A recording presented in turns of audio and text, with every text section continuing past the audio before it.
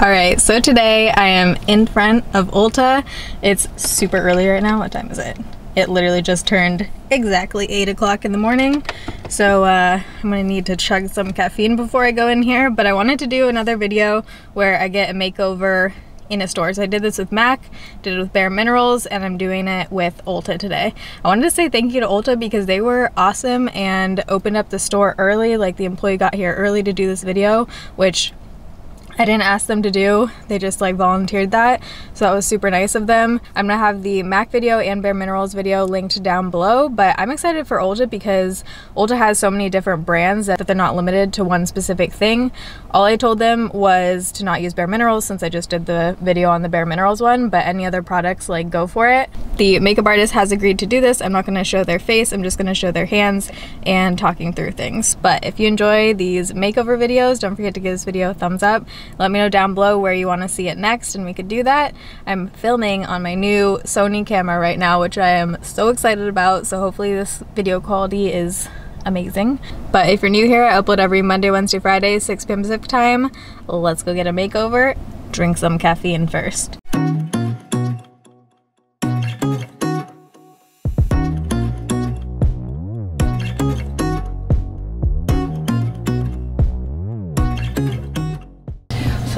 Makeup look are we going for today? Do whatever you think. I kind of want something like glam, like almost like prom makeup, like clean glam, you know? Clean glam. Yeah. Okay, so like a little bit of glitter, Yeah, sure. wing liner. Yeah, Okay, perfect.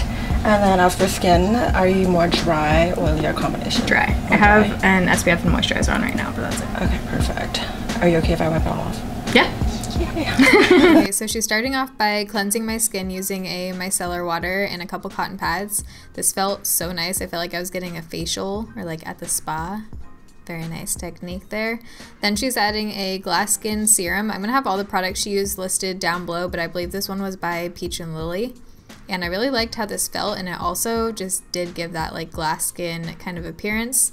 So she's just working that into my skin. I like that she took her time on the skincare, and she just had really good technique, like it felt nice. So then she's going in for an eye primer. This is the Anastasia Beverly Hills eye primer. I've never tried this one actually, but I liked that it had some kind of like pigment to it. I really like when eye primers have color to it, so it just conceals some of the stuff on your lid.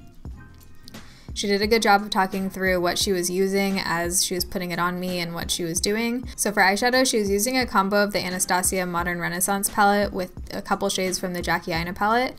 So she said that she put, what did she put?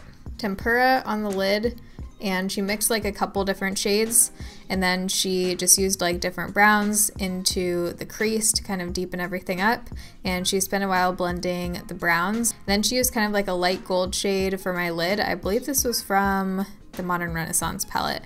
She also went in with a liquid stila liquid eyeshadow afterwards but i think right now she's just using a gold shade from the palette and then right here she's tapping some of that stila glitter over top so she spent a while on the eyes. I cut a lot of this down just so it wasn't, you know, too much to watch. But now she's priming my skin. She used a Dermalogica Blur Primer, which is one of my favorites actually. And she worked it into the skin really nicely and let that sit while she finished up on the eyes. She used a deep maroon shade from NARS. I'll have the exact shade down below. But I really liked what she did with the eyeliner because she smudged it, but it also still looked clean because she used this Q-tip, as you're seeing here, to clean up the line afterwards. Even though she used a like smudgy kind of pencil liner technique, I like that she cleaned it up afterwards and it all came together really nicely. So here's doing the same thing on the other eye, first applying the pencil, then kind of smudging it out, and then using a q-tip to clean up the line. I never do my eye makeup first, so I usually don't use any kind of product to clean up the line, but I do really like how it looks. Then she's applying a like champagne color to my brow bone. She said that she thought that would be a nice compliment with the lid color. And I also rarely do a brow bone highlight anymore. I don't know why. So for my brows, she kept it pretty natural. She said she just kind of wanted to, you know, add a little bit since I already have permanent brows on. So I believe she was using the Benefit Gimme brow pencil here and just adding a tiny bit of shape. And then she tied back my hair using a nice little spa wrap here. Felt very fancy. Wow. And then for foundation, she used the It Cosmetics CC Illumination, which is one of my favorites, but I usually have to mix the shade or do something to it because it's not a perfect shade match. And she did go in the shade Fair here and it definitely looked like a little bit off, just the shade. It's also really hard in different lighting, you can never tell, but She's just blending that using an It Cosmetics foundation brush. And I like that she was stippling instead of like using swirling motions just to get the best kind of coverage. And we had a good time, you guys. We were just talking the whole time. She was like, she was just great. I really liked her. And then she's going in with that same eyeliner, I think, for my waterline. And then I think she's also kind of like smudging it down below. She hasn't applied concealer yet, so she did do that before concealer.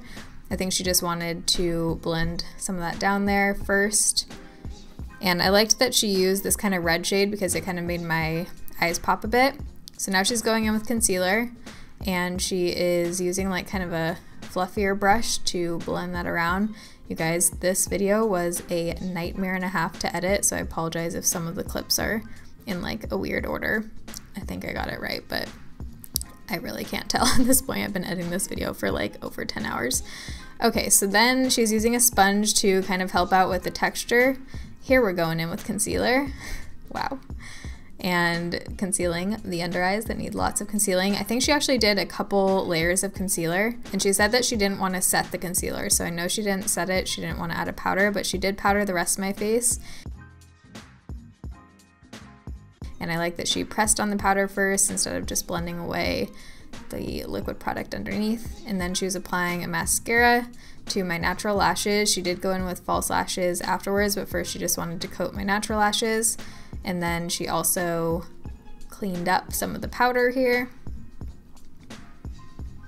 So then she went in to apply false lashes and she used velour lashes. I'll have the exact style down below. I think this was the first velour lash I've ever tried and I really liked the style of them. I felt like they could have been trimmed a tiny bit. I think they were a little tiny bit too long, but it, it looks, you know, totally fine. I think it works. Then she's applying some mascara to my lower lash line. Here's me liking it. and then she is just kind of cleaning up some of the fallout probably. So for this for the highlighter, have you ever used a Lancome highlighter? No. Oh my god, touch it. It's like so Ooh, creamy and it just melts into like your buttery. skin. Yeah. Okay, so oh. so she went in with a Lancome highlight here that is so pretty and I ended up actually ordering it, but I really liked how this looks. It's like a gold shade, but it's it somehow works on my skin tone, it doesn't look too dark. And then she was going in with a bronzer. She actually used a combo of two different products for the bronzer, I believe. I remember we were talking about just like combining products and how that often works out the best. Here she's applying the Rockateur blush, which smells so good. Then she was going in with a NARS lip liner. She used the shade Morocco for the lip liner. Then she used the NARS Velvet matte pencil in Good Times, which is one of my favorite shades, so she applied that all over. I really liked the lip color that she ended up doing. And then she added a little bit more highlight to my cupid's bow, and then sprayed it with some Tarte setting spray. She said this one had like gold flecks in it or something. I'd never tried this one. And then she just fanned me off. And here's the final look.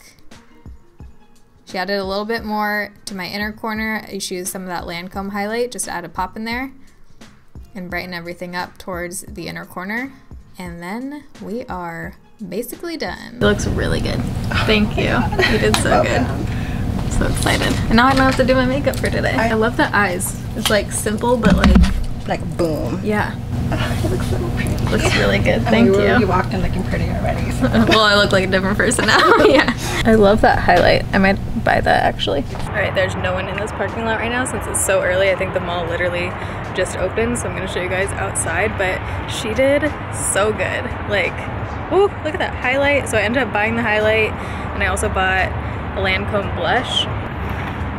So yeah, here's the makeup and natural lighting. I'm gonna get in the car. Oh my god, I love it. I think she did so good. The foundation shade is a little bit off, but that's because it cosmetics it's hard to find like a shade match overall the skin looks so nice and just like healthy i love the highlight blush bronze i mean literally everything everything looks great i love that the eyes look dramatic but the actual eyeshadow is like pretty soft colors we basically just talked about food the whole time. It was amazing. She knew her shit when it came to products. I don't know, I just really liked how she did makeup. Like, she mixed a lot of the products, which I also love doing. She didn't seem to like do something because you're supposed to do it. She was very talented. Let me know what you guys think down below, but also just the way that she was doing the makeup. She was very like conscious of the steps that she was doing and priming and prepping the skin and talking through the products and yeah, she just did amazing. So thank you so much to Ulta Northgate. You guys rocked yeah, I'm keeping this on for the rest of the day, man. It was definitely, I think, the best one so far, like between the MAC and Bare Minerals,